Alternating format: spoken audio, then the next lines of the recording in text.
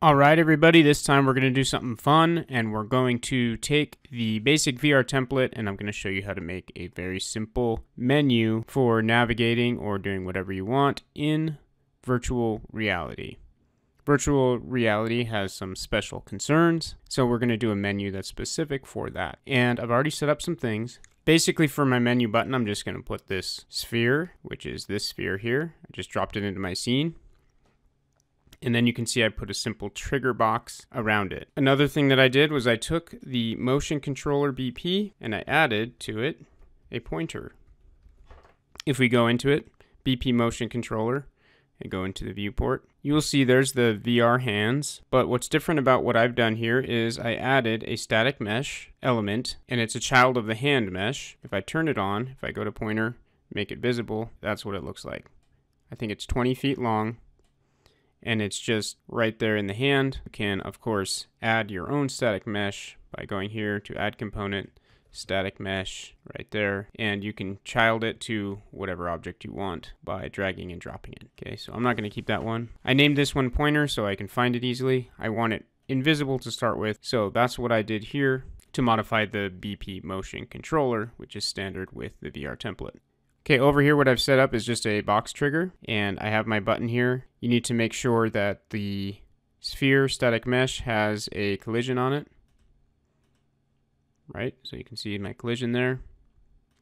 And you need to make sure that also the pointer that we add to the motion controller has a collision on it. I set this one, if I go into the blueprint and look at the sphere, we set it to collision preset of trigger, make sure it generates overlap events. Okay, so these are basic setup things so that when we point our hand that's attached to the motion controllers at this trigger box, that laser pointer will turn on and also it will know this sphere will know when we're hitting it with the laser pointer as well, which will enable us to navigate our menu. So right now I have it set up I'll show you an example and then I'll tell you how I did it. So if I hit play. Okay, here's my right hand. I will navigate over to here. And as you can see, as I point inside the trigger box, my laser pointer comes on, letting me know that I can select something over here. And as I hit the button, it changes materials. Okay, so I'll take us to that point with scripting, and then we'll make it actually do something. Right now, if I click, nothing happens. I'll show you how to do that as well.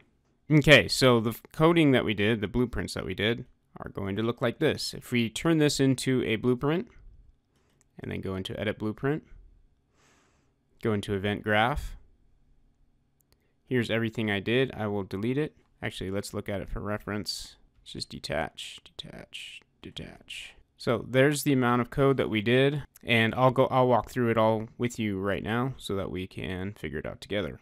So the first thing what we need to do is get a reference to our controller so that we can grab the pointer, which was there, and then just set its visibility. And we did a few other things too, but I'll show you that as we go. So first we get all the actors of a class, which returns to us an array of all actors of a certain blueprint type motion controller pawn is what we want as our blueprint. And that will give us an array right here of all the motion controller pawns. Of course, there's only one. So we'll take that out of there, take out of our array and say get index number zero, which is the first one in our array, and there's only one. So again, that is the motion controller in our scene. That's what we want. From there, we will say get right controller because that is the right hand motion controller. That's the one we want. That's the one we want to be able to select our menus. That's the one that will have the laser pointer showing. Okay, so from there we say get another component of this variable, get static mesh, no, get pointer, because we named it pointer so we could find it again. So now we've got a perfect reference to the pointer that's within that motion controller pawn. If I look in the motion controller pawn, you'll notice that there is a variable in here, left controller and right controller, and those are the ones that we were referencing. So that is just a blueprint motion controller called right controller, and it's set to be the right hand. So all we did here was, nope, not here, this one. all we did was grab that variable right controller and then grab the, the pointer component of it, which is the reference that we want exactly. And then we say set visibility of the pointer. Check it to be on. And then we can just drag this executable to right there. So now we're setting the visibility of that pointer to be on and the target object is got gotten here through the motion controller BP.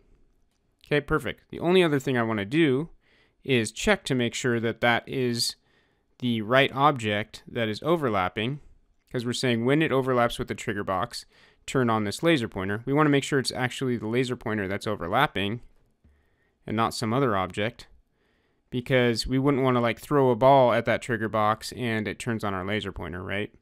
So right here we have the actor that is overlapping. That's a reference to it right there. We can drag it out, check that it is equal by doing the equal object. Check that it is equal to this right controller here. Okay, make sure those two things are equal. So we're saying, okay, it's got to be the right hand, some, some element of the right hand that is intersecting. And if it is, then make this happen. So we actually need a branch in here. Branch. And we're checking the condition that both of these are true, or both of them are equal to each other. If that is true, if they are both equal to each other, then we'll set the visibility. Okay, there we go. Now the only other thing we need to do is when it's not overlapping anymore, wait, we, we did this all in the end overlap. That is not what we want we want begin overlap, obviously. So let's rewire that to be like that. And on end overlap, all we're going to do is copy this set visibility, execute, turn off visibility, and then the target is going to be the same target we have here. So we can just drag it like that. So now when we overlap, that pointer will turn on as long as we're overlapping with the right objects. And when we stop overlapping, it will turn off again. So compile and save. Let's make sure that's still working.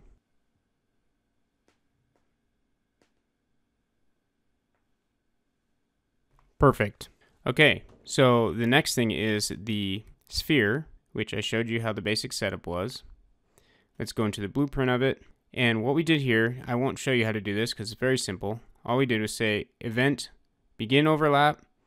We take the static mesh component here.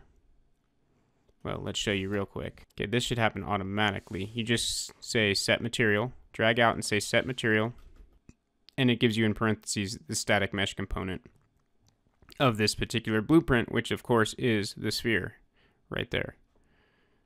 Okay, and we set I set it to something that comes default in the VR template, and it's called M_ArcEndpoint. It's that glowing blue material. Okay, so there you go. And then on overlap, on end overlap, we did the exact same code except changed it back to basic shape material. Okay, so as that pointer is overlapping, and we could again set it to make sure it's the the laser pointer that we want that is doing the overlapping, but I'm not going to worry about that here. We can just leave it simple make it so that when anything overlaps this thing, it changes to blue. And when it's not being overlapped, it changes back to white. So compile and save, we know that one is working. Okay, now how do we click that button? Let's do it a really simple way by setting up a variable in this button that when it's overlapped, when it's glowing blue like we were just seeing, it sets off a variable to say true. And then in our motion controller pawn, what we'll do is say if we pull the trigger while that variable is true, then take us to another level or quit the game, whatever we want our menu to do. Okay, I think that's a pretty basic and simple way to do it. So let's go ahead and do it that way. Of course, it can get much more complicated if you have a bunch more buttons, but I'm going to show you basic functionality here.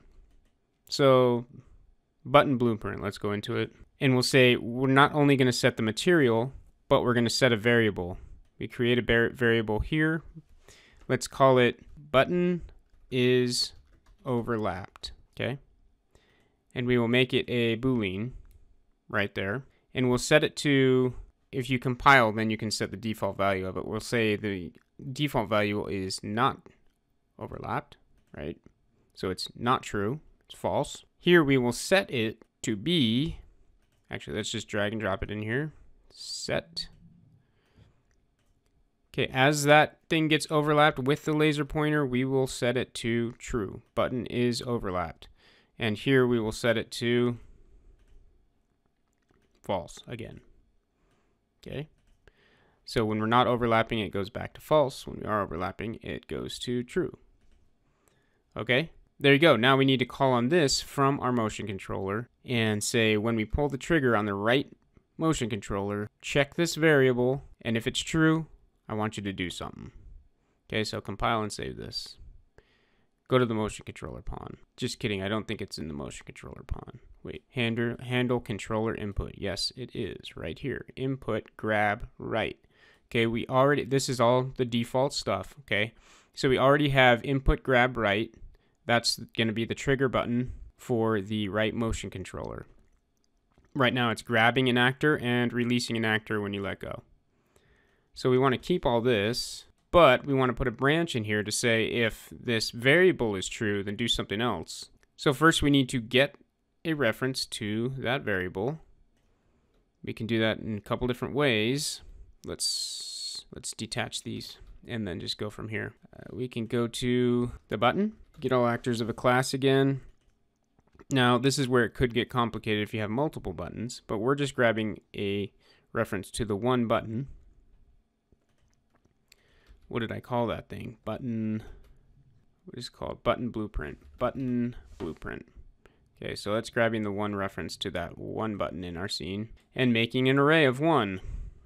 So let's get index zero, obviously, the first one, the only one. And then we need to get that variable, get button, button is overlapped. Okay.